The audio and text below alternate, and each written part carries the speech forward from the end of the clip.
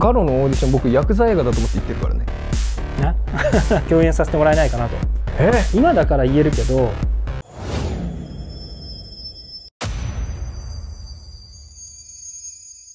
立場深い作品がすごいできそうで数多くのご応募本当にありがとうございました、本当に。はい。皆さんこんにちは。井上正弘です。はい。今日はですねあの本当なんというか仕事をずっと一緒に共にした、えー僕が悪役で、えー彼はずっと正義のヒーローでずっとこうバトルをやらせていただいてたやったねはい、いろいろ声聞こえるけど、あのーまあもう皆さん分かってる方は分かってると思います。来ていただきました。グリちゃんです。来ました実際に会うのはマジで久しぶりで、本当にあのマスクマスク企画。企画やってくれたじゃんそれ、もうあってはないから、はい。そのもっと前だよねあったのはそうだよね。まあ以前そのガロのマスクという企画をやってくれて、ガロのチームであのマスクを配ろうみたいな感じの企画をちょっとやってくれて僕は協力させていただいたっていういや形だったんですけれども。本当にみんなに助かったよあんまりこう僕舞台とかさうんドラマとか一応やってるけど、うん。なんか正直僕がご恩を返してるっていう感覚が全くなくてこうお芝居してみんなに喜ばれて「いやそれがご恩を返してますよ」って役者さんは言うけどいやそれねそれすげえ後で掘り下げて。嘘 うんなるほどそれで？それで、うん拍手とかいただくじゃん。はいはいはい、だけど僕は別にお芝居してるだけだしなって思ってたのずっかりますよ。わで僕のやるたやることをやってたっうんてだけだったから、うんなんかここの間のその柄のマスクやった時は本当のなんかファンの皆様の声が届いた感じがしたの。自分たちに。うん。だからすごくね嬉しかった。俺が嬉しかったのよ。ああ生きるってこういうことだなって本当に思わせてくれた感じがして言い方はちょっと社会貢献という形になっちゃうけどそういうのを深めていきたいなって思ったきっかけでもあって。ーすごいね。30歳で社会貢献を深めていきたいっていう俳優なかなかいないですよ本当に。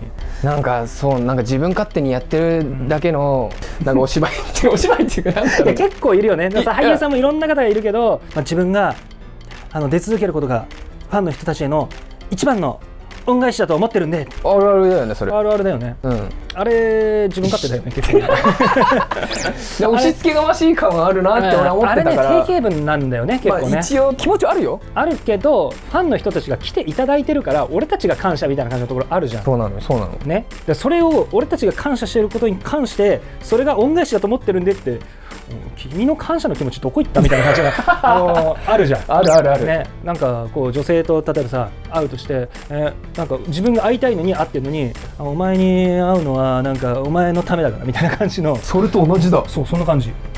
それだわ。本当だからあの企画は動画外でも、まあ、グリちゃんが、まあ、すごい自分自身がなんかすごく嬉しかったみたいなことをなんか言っててなんていい人なんだろうなって。僕は。いやなんか思いました。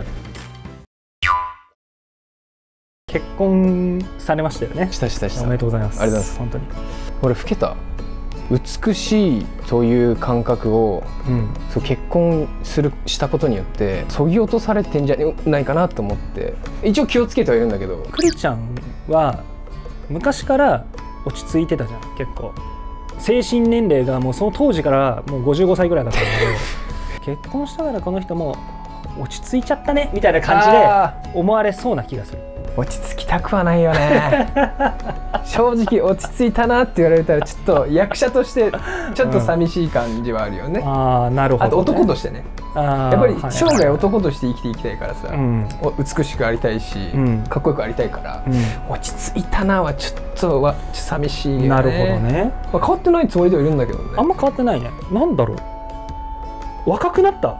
いや今日だけかも。だからこのラブホ街通ったからなんかワクワクしちゃって。何る何を言ってんの？全部カットだわそんなの。まあなんか。まあねあのダメだよ。結婚してラブホ街通ってワクワクしてって言っちゃう。本当に。久しく通らないからさこんなところ。あまあそうねそうね。なかなかね。ガロの主役をまあやられてた、そうだね。まあ、栗山航なんですけども、まあ、ジンガという役僕がやらせてもらった役はまあ、結構自分勝手にアクションするし突飛ない動きをしていくみたいな道外龍河は相手のを見て合わせていくみたいな感じのところがあって僕は毎回違ってもクリちゃんはそれに全部対応してくれるからガロの現場に来た共演者はみんな栗山渡るイコールアクションすごいできる俳優って認識してると思いますよ。あれです。いやこういうとこあるの。マジで。こういうとこあるの。テレビやんそんなの。ガロ決まった当時ってそんなドラマとか。いやデビュー作だから。そうだよね。もそもガロのオーディション僕ヤクザ映画だと思って言ってるからね。ね、ガロって何？うん。知らないな。牙に狼？えなんか白龍さんが出てるのかな？みたいな感じで行ったるほどね。のよ、ヤクザ映画だと思ったから、うん。ちょっとヤクザっぽい格好でい一応行ったのえじゃあちょっとネズミ色うんのシャツみたいな、ちょっとさじゃあ入る時にちょっとヤクザ意識するの？俺芝居できないから服装だけで。あーなるほどね。そう。あ雰囲気だけでね。そう。一応モデルはやってたから、うん。まあ、そういうところでちょっと出していこうかなと思って、事務所がこう提案してくれたオーディションには行こうと思って決めてたから、うん。うん。うん。行ったら横山監督がすんごい厳しい顔してこう刀持ってみろみたいな言っててで俺台本も読んだことないセリフも言えないのになんか持たされて。オーディションの前に勉強とかしないの？全然知らない。ガロってあこういう作品なんだ。ちょっと見りゃわかるじゃん。芝居に興味なくて。うんと なんでこの業界いるの？興味出てきた出てきたね。でもねすっげえわかる。最初の興味ないんだよね。全然興味なくて。うん俺もそうだったから。あそうだったんだ、うん。何のドラマなんだろうって思って帰り調べた。決まったからうん。やらなきゃって思ってた闇を照らすものの時でそれがやりたいに変わったのは撮影の途中で僕大学生だったからその時。うん。あの法律の勉強もしてたし、うん。六法全書楽屋に持っていくぐらい勉強厳しかったからうん。やってたんだけどこれ俺将来何になるんだろうってふと考えた時にあみんなとこうやって作り上げていく役者とかこういう現場に関われたら面白いなって思った時にやりたいにつながったんで、それはじゃあ闇を照らすものの撮影。そう途中だね。途中で。うん。なんかあれだね。道外龍河が覚醒するのと同時になんか栗山渡も役者として覚醒したみたいな感じね。ど本当にそうかも。本当にだからガロの現場ってめっちゃいい現場だったなって今でもやっぱ思う。おーいい現場だよね。あれめちゃくちゃいい現場だよね。超楽しかったもんね。今だから言えるけどこれは役者にやらしちゃいけないアクションでしょっていうのかなりありましたからねうーん。なんか俺感覚が分かんなくてわかんないそれがどれか分かんないバグってたでしょバグってるバグってる。だってねなんか一個ねなんかこうパーン飛ばされてでなんかね台かなんかにボコーンってねこう 行くやつがあったの。ここの飛んでる間がなんか7メートルぐらいあって。あったな。もうスタントやん。アクションじゃなくてもうそれジャッキー・チェーンがやるやつみたいな、あったあった、うん一番最初の闇を照らすものの時も 20m30m ぐらいのとこから釣られてそのままフリーフォール。で召喚するっていうシーンがあって。最初だったからでもこれが普通かなと。そう普通かなって今思うとクレーム入るよねきっとね。いや絶対クレーム入るよ、役者さんからね。そんなことやらせないでくださいってなるよ、ねなるよね。センシティブな事務所だったらそうだよね。うん。だってガロゴールドストーンのショーで最初なんかイントレの上で戦わされたあことがあって、まあ、最初のバトルだよね、まあ、1畳半ぐらいしかないこう四角形の足場の悪いところで戦わされるからもうねぐんらんぐらするわけいやそうだね。そうだった。下にマット引かれてんだけどその一部しか引かれてなくて、うん落ちた時はそこかと思いながら。当になんか尻尾ぐらいの大きさにしかなかったよね。そうそうそうそう。そうそうそ高すぎての範囲？ねその範囲でしか俺ら落ちれないっていう。ね。でもそれをね僕らがやってたのはなぜかというとやっぱいろんな特撮番組あっていろんなアクション映画がある中で見たことない最高のアクション作ってやろうぜっていうスタッフの気持ちがあるからできたよね。そう本当それだけさっき言ったけどねうん。スタッフさんの協力があったからできたっていうかやんなきゃいけないしみんなのために頑張りたいっていう気持ちがみんなにあったよね。でこれね今ね僕企画で、まあ、ピンクの特撮を作ると。ってピンク。そのピンクじゃない。何ピンクの特撮って？色の色です。問題？ああ。ちょっと大人向けなのかなって思った違うから。違う？ヒーロー作品を、あのー今作ろうかなと思ってるんですよ、すごい。まあ、一応今回僕くくりとしては正義の味方じゃないですか。一応ね特撮番組ヒーロー番組で主役って。悪役どうしようか。とまあ悪役というかその相手役。ガロの時に僕が悪役やってクリちゃんが主役だったじゃそうだね。んね。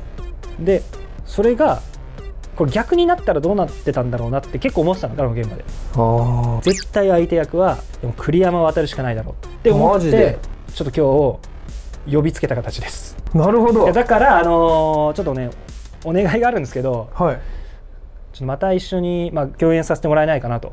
え？そしてまた対立する役お願いできないかなと。なるほど。ちょっと考えます。あれ？どういえうことなオファー今オファーされたの俺。いやちょっと出てくれないかな。あちょっと事務所に確認します。あ OK です えスケジュールは空いてる。スケジュールちょっとわかんないです。僕はあのね。あじゃあ縫いますんでスケジュールじゃあ事務所に聞いていただいて。いやーまあそうだよね。え？アクションやんの？やりますよ。マジで？本当。えー、マジオファーっすか？いやマジオファーっすよ。えー、嬉しい。うん。やります。え本当っすか？事務所に何とか言ってやります。いいんすか？はい。えお願いします。いやちょっと待ってこれあの皆さん事務所が NG 出した場合はこれお蔵入りします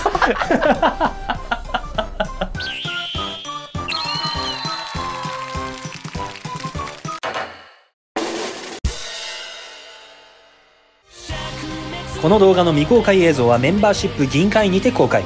金会員では月1で限定生放送もやってるのでよかったらぜひ入ってみてください。また別動画もよかったら見てね。チャンネル登録を忘れなく次の動画でまた会いましょう。